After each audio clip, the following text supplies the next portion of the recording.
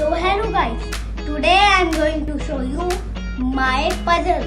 And these puzzles are very tough and these are solar system puzzles. So I'll show you one trick to make these all puzzles. So let's open the puzzles.